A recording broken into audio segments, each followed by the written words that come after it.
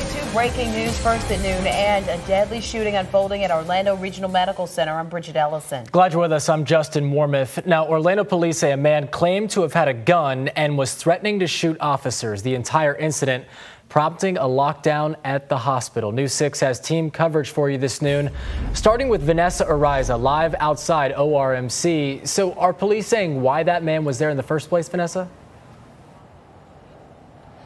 Well, Justin, according to Chief Mina, who held a press conference just a few hours ago, he said that that man was picked up downtown due to a medical condition. Now, what that medical condition is, that's still not being said, or where exactly this man was picked up, whether it was at his residence or at an establishment downtown. We're still working to get those answers. But Chief Mina did say that he seemed to appear calm when he was en route here to the hospital, and almost for an hour, it actually took about an hour until that man man started making those threats. And when that happened, staff alerted police. This is the scene that was a result of that.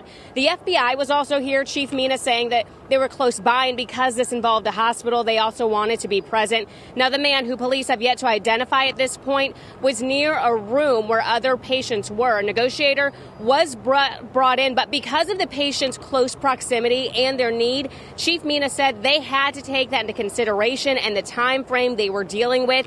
The man also said he was a suspect in some homicides. Police are working to find out if there's any validity behind that and as to what cases.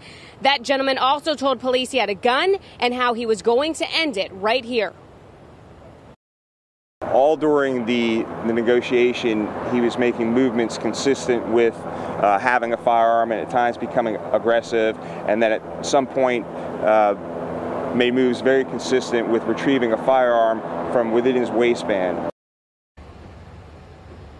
And the hospital here, ORMC, is back at normal operating uh, operations, back to normal here. Within the past 10 minutes, two crime scene units left as well as the caution tape was taken down and police officers left the scene here. Now, those three death, or excuse me, those three police officers who are involved, they are on paid administrative leave. That is the standard when the FDLE is investigating and it is an officer involved shooting.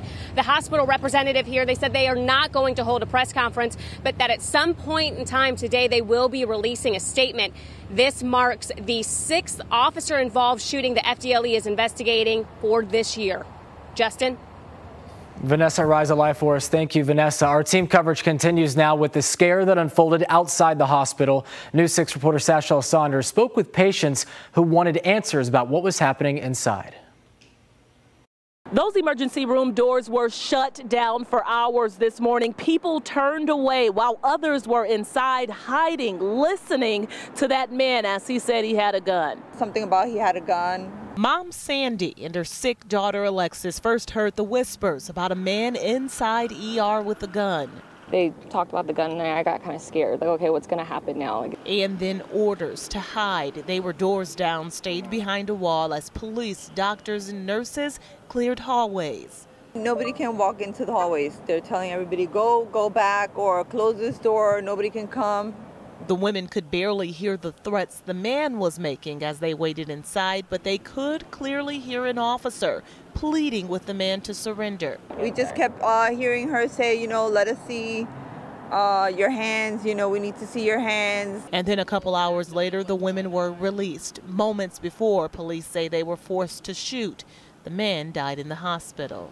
The hospital is open as normal today. Despite those ongoing investigations, people can use the emergency room for the rest of the day as well as the regular hospital.